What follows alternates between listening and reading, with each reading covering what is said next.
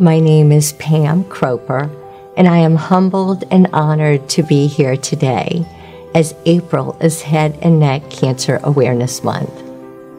I was diagnosed with squamous cell carcinoma of the base of the tongue with bilateral cervical lymphadenopathy in October of 2019. Head and neck cancer um, ribbon is the colors of burgundy and ivory and or white. It is truly a blessing for me to use my restored voice to share my experience and some of the things that I've learned during this most unexpected journey and season in my life. I first learned that I had cancer was during a visit to my ENT, and after an office exam, he looked at me and said, You have base tongue cancer. And then from there, a biopsy was done, and it, con- it um, confirmed his um, findings. And then I was referred to oncologist, and my journey began. No, actually, there very few symptoms. Um, it's pretty asymptomatic and pretty quiet. I was actually um, at a routine exam with my OBGYN, and I had noticed a lump on each side of my neck, but I really wasn't too concerned about it. But during that visit, I brought it to her attention. After she examined me, she referred me for a CAT scan, and the results of that CAT scan prompted her to refer me to my ENT, which is where the diagnosis of cancer was made. There are five major cancers of head and neck. They are the oral cavity, the throat, the voice box, the paranasal sinuses and sinus cav and nasal cavity and the um, salivary gland.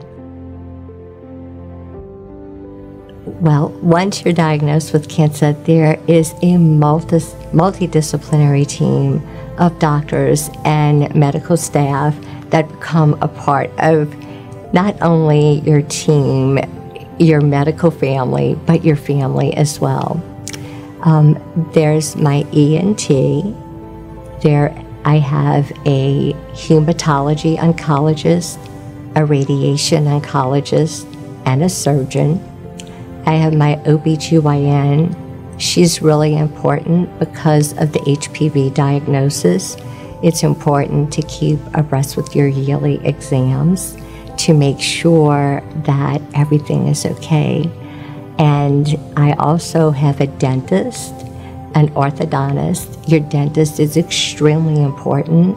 Um, they do, in addition to routine oral care, which is extremely important for your journey before your treatment, during and after your treatment. Um, there's a lot of damage from the radiation that can occur in your mouth, um, including uh, jaw issues, teeth issues, um, your issues with your tongue and your gums, and um, to walk you through how to reacclimate back to even brush, something as simple as brushing your teeth. There are also uh, very important in uh, oral cancer screenings. Now, with the base of the tongue, your dentist is not able to go as far down as the base of the tongue.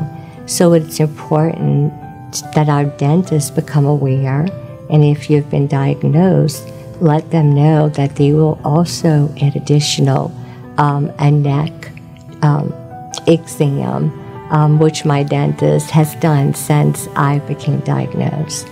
In addition to them, I have a dietitian um, who I still walk my journey with. There's uh, prolonged issues with uh, swallowing and chewing and eating.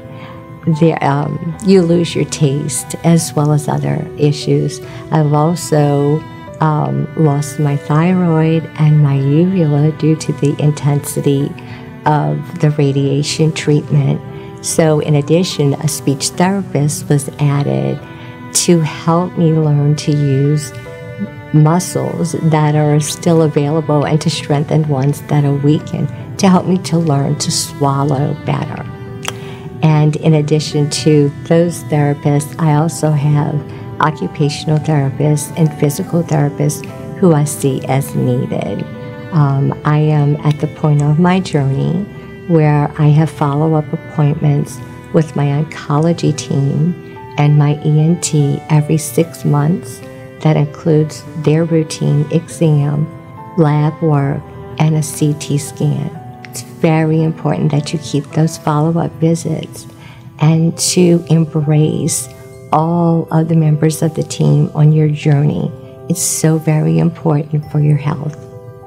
Although that sounds like an enormous amount of doctor's appointments, and it is in the beginning, but they are so important to your journey in more ways than you can imagine. It's so important to your journey to be restored back to health and they become members of your family and they embrace you as part of theirs, which is so incredibly important for the healing process, in addition to the incredible, incredible life saving work that they do on a daily basis. So don't be afraid, don't give up hope, and they are even there to not just treat you medically, but they have inspired me and encouraged me and it filled me with more blessings than I ever thought a medical team could. So one day when we're able to part, I told them that I'm just going to come once a year to say hello because they're become so dear to us, but they feel the same way about their patients. So don't give up hope. Know that this season is temporary and you will get through it. It's not really that common. Research shows that there are six, there are about 68,000 individual men and women who would be diagnosed with head and neck cancer in the United States this year. Of that, only 4% of head and neck cancer makes up all the cancer diagnoses in the state of, in the United States. Um, of that, only 30% of those diagnosed with head and neck cancer are women. I think because um, it's predominantly a male cancer, because the most common source of head and neck cancer is um, alcohol and tobacco use and it seems to be more predominantly um, men who consume a little more alcohol and tobacco. And also in the tobacco category, it's not only smoking from cigarettes, cigars, um, pipes, it's also chewing tobacco. Women can also fall under the category of alcohol and tobacco, which is the most common. And the second is the human papillomavirus um, being the second cause of head and neck cancer. Well, HPV um, can manifest itself into other related cancers, but a base tongue cancer and cancer of the tonsils is one of the cancers related to the HPV virus. So it's very important when you visit your OBGYN, if they don't do a neck exam, request one from them because that is one of the ways that the um, neck cancer, head and neck cancer, can be detected. In the past, um, I my OB-GYNs used to do a neck exam, um, checking the thyroid. And so I thought that it was always part of the exam, but not all doctors do that. I am hoping that more awareness of the human papilloma virus will prompt a new method of exam and put that part of the routine to examine a woman's neck. Well, if left unchecked, um, the growth of that cancer can uh, prompt the base tongue cancer and or cancer of the tonsils and this spread into the lymph nodes, which is what happened to me because it's so asymptomatic, so silent, and so quiet. There are at this time no screenings um, for the HPV uh, virus that um, would bring awareness to cancer at the base of the tongue. I would say to anyone who was diagnosed with head and neck cancer related to HPV that I completely understand the reluctancy to speak up, up about it. Um, some of my closest family and friends advised me not to talk about it because of the stigma related to HPV as being the number one sexually transmitted disease. However, there's so much unknown about HPV. We really don't know all the reasons uh, and ways that people can get it. My family and um, some of my closest family and fr- friends had advised me not to talk about um, the cause of my cancer as being HPV related because of the stigma related to HPV being the um, number one sexually transmitted disease. And that made an impact on me. It was not just cancer that I had to deal with on my journey, it was the stigma and embarrassment of the HPV. But as I prayed on it throughout my journey, I knew that I had to come out and talk about um, HPV. It doesn't matter who you are or what your past was or wasn't.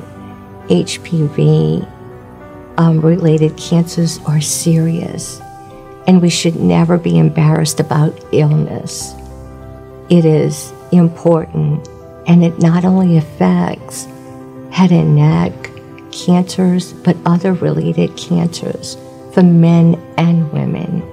And if we talk about it and have discussion, there will become more awareness and it will lessen that stigma and make it more acceptable to talk about without judgment.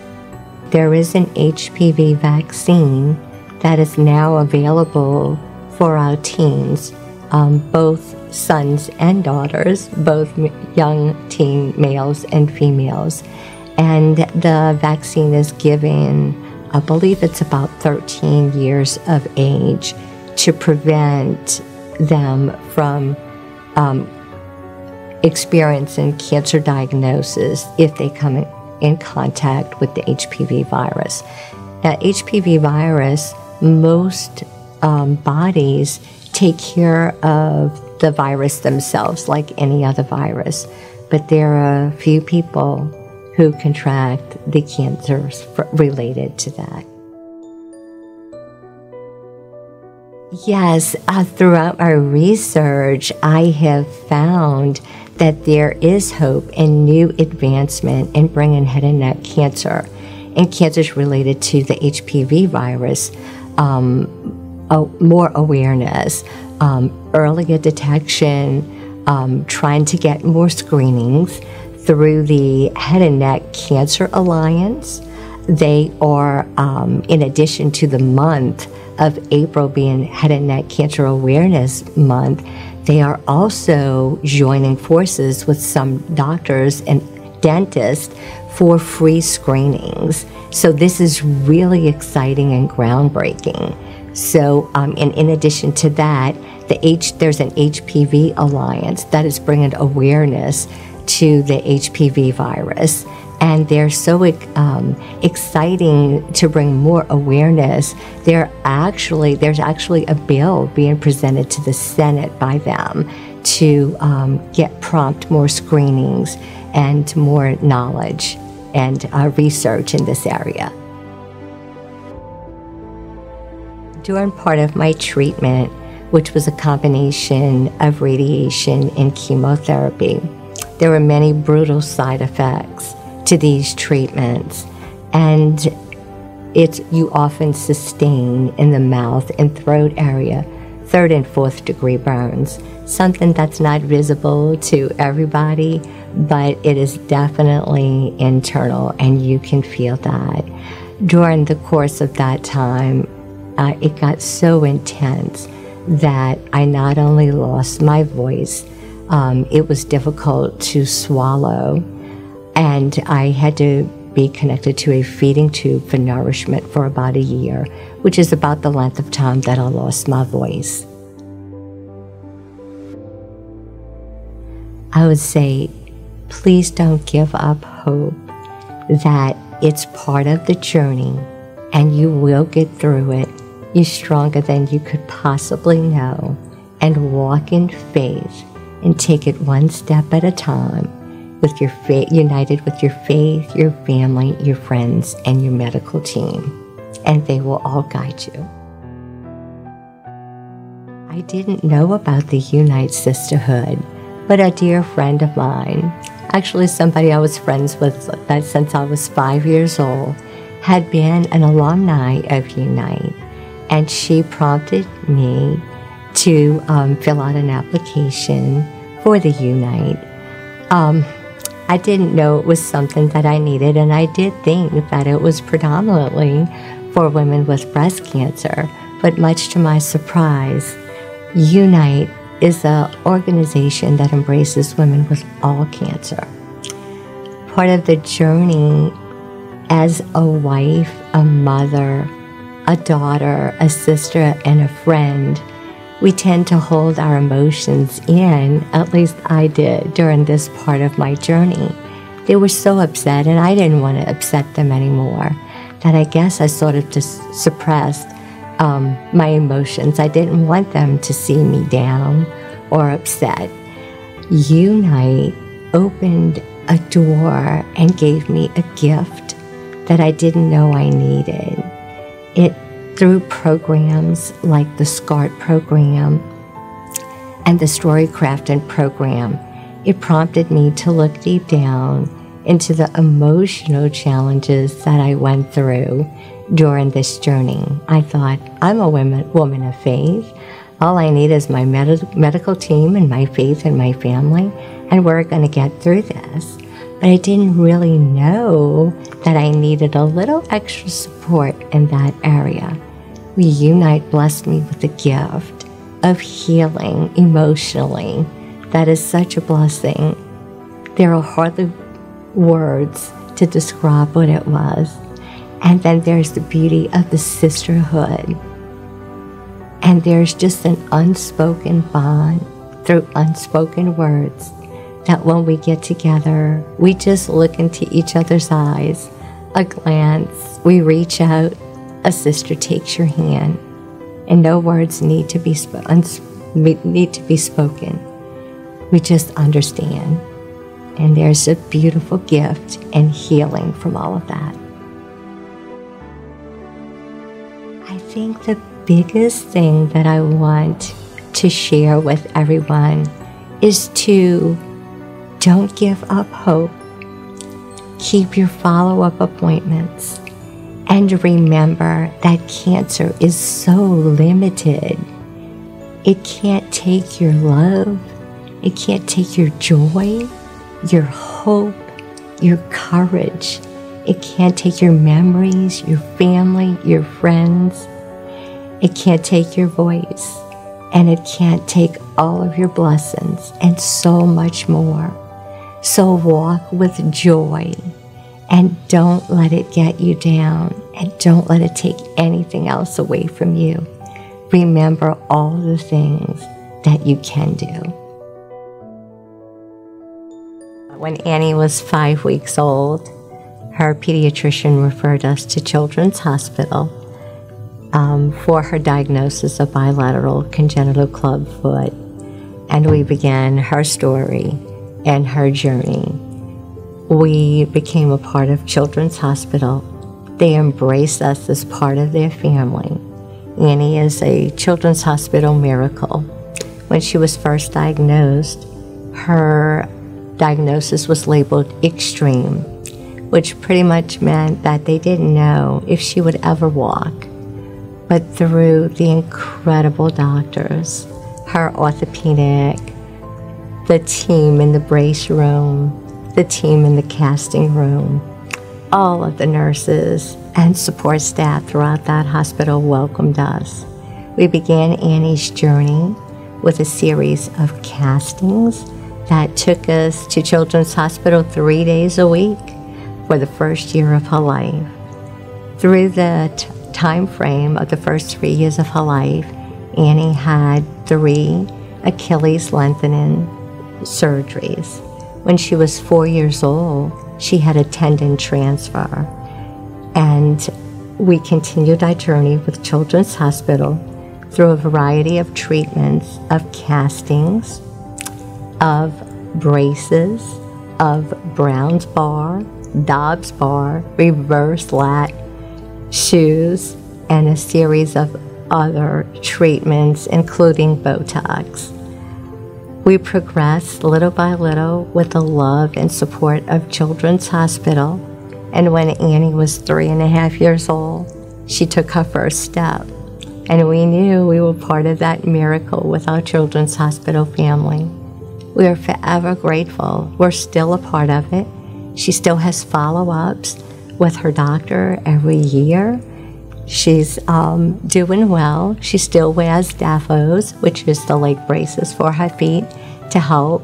And we are continuing her treatment, her follow up exams, and watching her journey.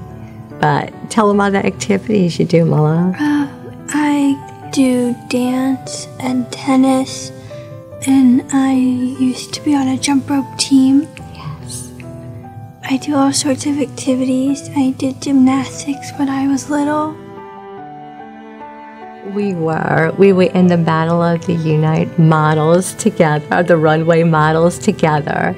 And it was such a privilege to have my daughter there, not with me as mother and daughter, but it was such a joy and a blessing to watch my miracle walk a runway because of the gift Children's Hospital had given us that she walked a runway. She walked it on her own two feet, a gift that we didn't think was possible when she was first born.